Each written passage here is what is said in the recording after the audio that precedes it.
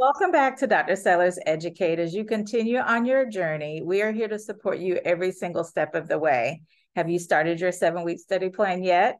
If not, we want to outline right now what that's going to be for you. Okay, so week one or step one in our process is making sure you purchase the resources that you need. If you're not sure about what those resources are, go ahead and check out our description right here on our YouTube episode and you will see recommended references that are aligned with NLN to ensure that you have the right resources to help you close your knowledge gaps. Okay.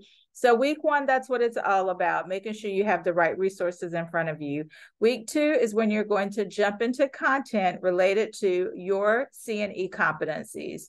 Remember that each candidate handbook is published by NLN based on the certification exam that you will be taking. So head over to nln.org, and that's where you're going to find under the NLN certification tab the CNE, the CNE novice, or the CNE clinical candidate handbook.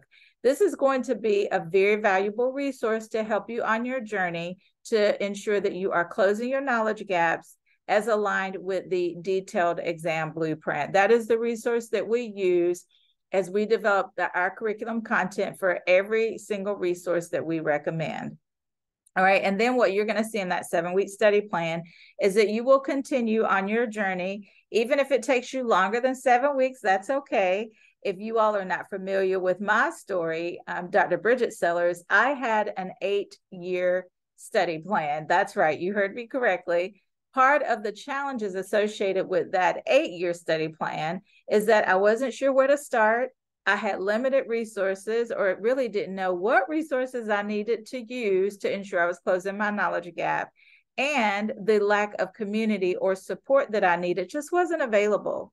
We here at Dr. Sellars Educate have removed some of those challenges that you too may be experiencing. So it doesn't take you eight years like it did for me. All right. So you're going to see in the description some additional resources to help you shorten your journey by maximizing the utilization of your time because you have all of the resources. You have community options here. We have a monthly boot camp, and we meet and specifically focus on those NLN competencies. Okay.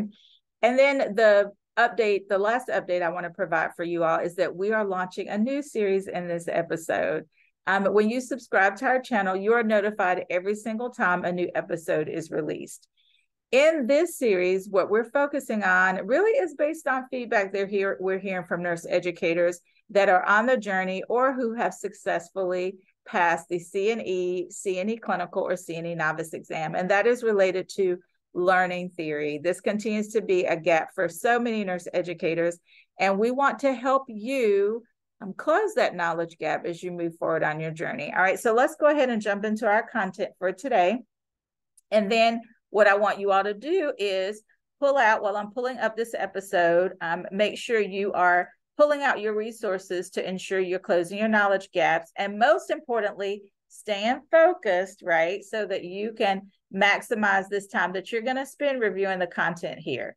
We also have a YouTube directory. We now are at more than 100 episodes, and we want to make sure that you indeed are staying focused on the content that you need to help you close your knowledge gap. So go ahead, you can pause this video right now, print out the snapshot worksheet, put today's date, whatever date that is for you, and then you want to just take notes as you review the content here and develop an individualized plan for yourself to ensure that you are closing your knowledge gaps. Okay, so the who, what, why related to learning theory Let's start with our practice question in case you all have not seen that question. It is also located in the description here on our YouTube channel, or if you're listening to our podcast, we're happy to welcome you all as well. You will see this specific question.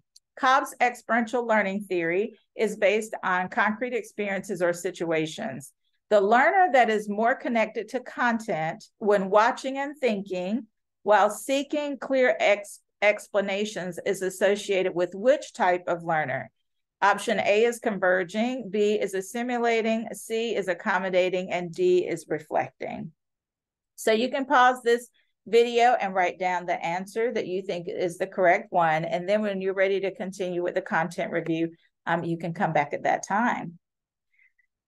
First step that we want to cover is the what. What do we mean when we talk about Cobb's experiential learning theory and why is this content so important for you all to know as part of your certification journey? Um, first, this content is aligned with several different concepts as part of our detailed exam blueprint. So learning theory, of course, and then we have facilitate learning, evaluation strategies, facilitate learner development, and socialization. What you will find when you review the content in Billings and Halstead, there are a couple of resources we want to point out, um, but there's also some content in Dr. Caputi's Red Book. Now, if you're on your CNE journey, you already have Dr. Caputi's review book. And if you're on the CNECL journey, we don't want you to purchase any additional resources. Okay, we want you to have Teresa's resource and Billings and Halstead. And specifically in looking at Cobb's experiential learning theory, you want to go over to table 14.1 um, in Billings and Halstead and also review content that's listed in chapter 14. This is going to provide a great um, review of content that you will use to help you close your knowledge gaps as we review these series. All right, so we're start, starting with Cobb. You may hear it called um, Kolb as well. Okay, so specifically looking at this theory, do know that this theory um, and really this framework is based on actual experiences that our students have in the clinical setting.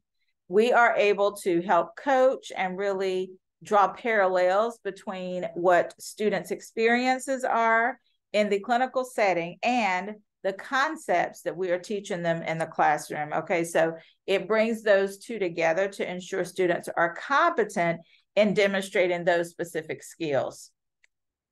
Want to share that we have um, celebrated Carolyn before, but I want to point out that she did pass her exam on her first attempt. We were super excited to celebrate with her. There's some key components, though, that we want to take from her testimonial.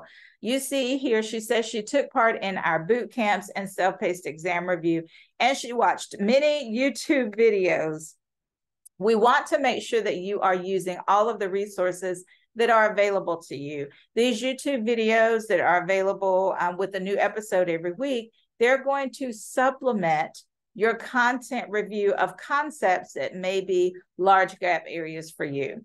We have a YouTube directory that you want to check out, as I mentioned earlier, right here in the description. This is going to help ensure that you are maximizing your time. Okay, so if it's not a large gap area for you, there is no need for you to review the content. But it is if it is a gap area for you, then you want to ensure in your last three weeks of your seven week study plan, you want to ensure that you are reviewing all of the content associated with those specific topics. All right, so now let's talk a little bit about who. In this specific practice question, it is the assimilating group that we are talking about, okay? And if we go to our Billings and Halstead resource, you are going to review table 14.1, which page 252 includes information about the experiential learning theory.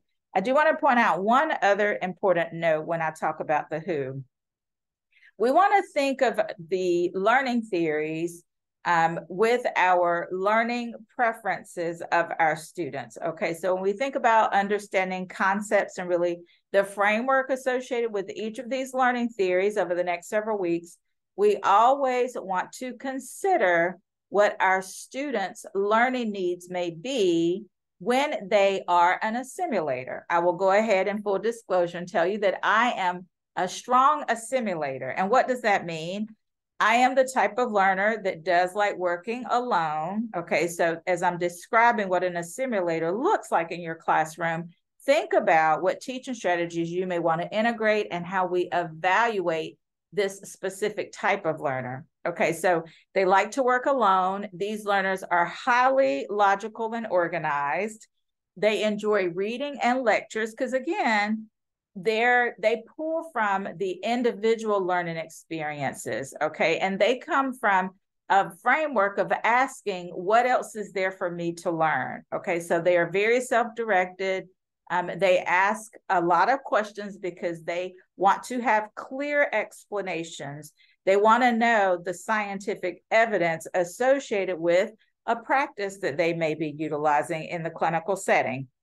Some other context you want to be familiar with is on table 2.3 in Dr. Caputi's review book if that's part of um, the resources that you already have if you're taking a CNE. Again, if you're not, I don't want you purchasing any re any additional resources. You will see some additional context um, in Billings and Halstead related to Cobb on page 30 as well, okay?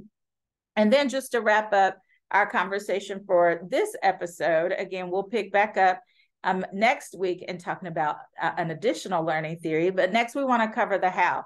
So how do we evaluate these students. Um, there are several ways we can evaluate them. First, knowing that I've now described what an assimilator looks like, we want to be knowledgeable about all four different types of learning preferences, okay? And that is going to be our divergers, our assimilators, our convergers, and our accommodators. We want to determine what teaching strategies are most aligned with all of these different learning styles associated with Kolb's experiential learning theory. And we want to consider how can we best evaluate and validate that learning has happened. Well, we know because this learning theory is strongly aligned with actual demonstration, practice, hands-on experiences. We want to assess, right, visually. You can see in this diagram, we have um, someone, a clinician taking a vital sign. We have a clinician that's listening using their stethoscope to perhaps abdominal sounds. So we want to ensure that we're doing our part as a nurse educator to number one, be knowledgeable about the concepts associated with Kolb's experiential learning theory. What are those underpinnings? Second, underpinnings. Second, how do we integrate these teaching strategies and who are these learners in our classroom? How do they best connect with the content so we can develop a holistic teaching strategy that is going to connect and align and ultimately engage this type of learner. And then third, how do we evaluate them? That's going to be based on not only how our learners um, tend to learn best and engage best in the learning experience because we're coaches, right? We're facilitating this learning process. We're engaging with our learners in a way that enables them to connect with our content and then we're able to validate that learning has actually happened. Again, we want to align it with that framework and with those concepts associated with the learning theory. And with Kolb, as we said today, we want to evaluate and assess um, based on our visual observation. All right, this is going to include conclude our snapshot for this episode. Feel free to reach out if you have questions, info at drsellarseducate.com. And you can check out all of the programs that we offer on our website. Until next time, have a great one, everybody. Bye bye.